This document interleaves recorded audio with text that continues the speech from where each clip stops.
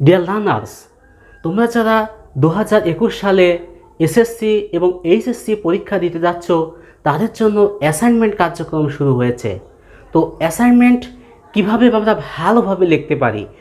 Assignment লেখার জন্য আমাদের যে যে বিষয়গুলো যদি ভুল করে থাকে, তাহলে আমাদের নাম্বার, নাম্বারের ক্ষেত্রে কম নাম্বার পাবো। এবং এগুলো বিবেচনা যদি আমরা না করি, আমরা ভালো মতো একটা অ্যাসাইনমেন্ট লিখতে পারব না। তো আমরা আজকে দেখাবো যে কীভাবে একটা ভালো মনের অ্যাসাইনমেন্ট লিখতে পারি এবং যে ভুলগুলো আমরা, আমাদের করা যাবে না। তো আমি কিছু পাঁচটা পয়েন্ট পেয়েছি, এই পাঁচটা পয়েন্টকে আমাদের ফোকাস করতে হবে এবং এই অনুযায়ী আমরা এগুলো মেনটেন করে আমাদের অ্যাসাইনমেন্ট লিখতে হবে। আমার আমাদের প্রথম পয়েন্ট সঠিক পেজে অ্যাসাইনমেন্ট না লেখা। দুই নম্বর পয়েন্ট কাট কপি পেস্ট করা। তিন নম্বর উত্তরের ধারাবাহিকতা ঠিক না রাখা। চার নম্বর টু দ্য পয়েন্টে উত্তর না লেখা। পাঁচ নম্বরে সৃজনশীলতার প্রয়োগ না থাকলে। তো এই যে পাঁচটা পয়েন্ট এবার আমি পাঁচটা পয়েন্ট আলোচনা করব সঠিক পেজে অ্যাসাইনমেন্ট না লেখা। আমাদের সমাজে আসলে প্রচলিত হয়ে গেছে যে এ ফোর সাইজে অ্যাসাইনমেন্ট লিখতে হবে। তো অ্যাসাইনমেন্ট অন্য পেজেও লেখা যায়, কিন্তু এটা যেহেতু কমন এবং সব সব মহলে গ্রহণযোগ্য। তাই আমরা অ্যাসাইনমেন্ট যখন লিখব অ্যাসাইনমেন্ট লেখার জন্য এ ফোর সাইজ এর পেজটা আমরা সিলেকশন করব এবং এ ফোর সাইজে আমরা অ্যাসাইনমেন্ট লিখব। দু নম্বর আছে কাট কপি পেস্ট করা। কাট কপি পেস্ট এগুলো এগুলো বলতে বোঝায় যে একটা অ্যাসাইনমেন্ট নকল করা। নকল করে নিজের নিজের বলে চালিয়ে দেওয়া। তো আমাদের সমাজে বা আমরা দেখি যে অ্যাসাইনমেন্টের ক্ষেত্রে আমরা দোকান, দোকানে যাই অথবা কোনো কোচিং সেন্টারে যাই, সেখান থেকে অ্যাসাইনমেন্ট সংগ্রহ করার চেষ্টা করি এবং সেই অ্যাসাইনমেন্টটা দেখে হুবহুবু কপি করে ওইভাবে সাবমিট করি।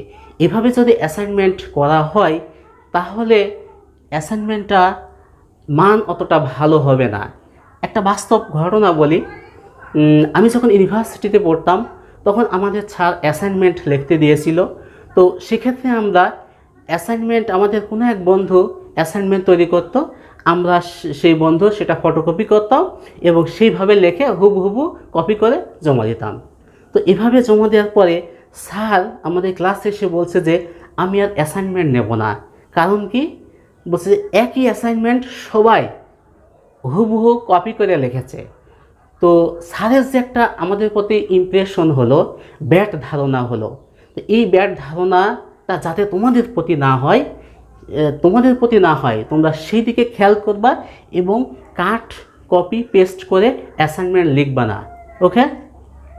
উত্তরের ধারাবাহিকতা ঠিক না রাখা। আমাদের অ্যাসাইনমেন্টটা যেমন ধারাবাহিকভাবে দেওয়া থাকে ক ক নম্বর প্রশ্ন, খ, গ, ঘ, এমন আর কি।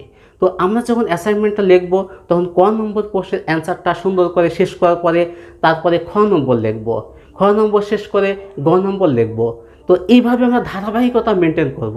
আমরা যদি ধারাবাহিকতা মেনটেন না করি, যেমন ক লিখলাম, ক পরে ঘ লিখলাম, হুম, এইভাবে যদি অ্যাসাইনমেন্ট লিখতে থাকে, তাহলে তোমাদের টিচাররা সে, সেই অ্যাসাইনমেন্টটাকে ভালোভাবে গ্রহণ করব না।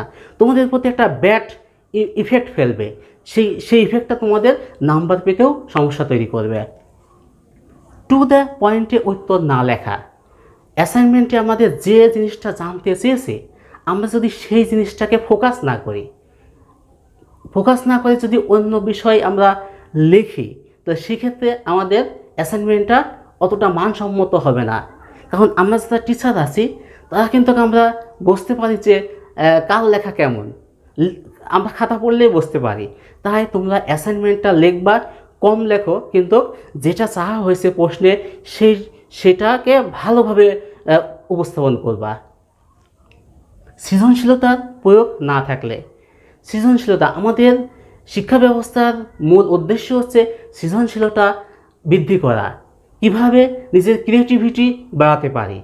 তো আমরা যদি সৃজনশীলভাবে অ্যাসাইনমেন্ট না লিখে থাকি, তাহলে আমাদের এই অ্যাসাইনমেন্ট লেখা থেকে যে আউটপুট সেটা আমরা পাবো না। সৃজনশীল লেখার জন্য তোমাদের কি করতে হবে? তোমরা হচ্ছে বই পড়তে থাকবা, বিভিন্ন বই টই পড়ার পরে তোমরা একটা সামগ্রিক একটা ধারণা নিবা যে এই অ্যাসাইনমেন্টটা এইভাবে লিখব। বই থেকে যদি তোমরা হুবু হুবু কপি করে লেখা, লেখো, তাহলে আমরা যারা টিচার আছি, তারাও কিন্তু অনেক অভিজ্ঞ। তারা কিন্তু বুঝতে পারি যে আসলে এটা বই থেকে কপি করা। তাই তোমাদের সৃজনশীল মেধার বিকাশ ঘটাতে হবে। এবং আমরা খাতা মূল্যায়ন করার সময় দেখি যে কোন লেখাটা একটু ব্যতিক্রম। এবং কোন দেখাটা ডিফারেন্ট টাইপের সেটার উপরে আমাদের মার্ক দেওয়ার প্রবণতা বেশি থাকে।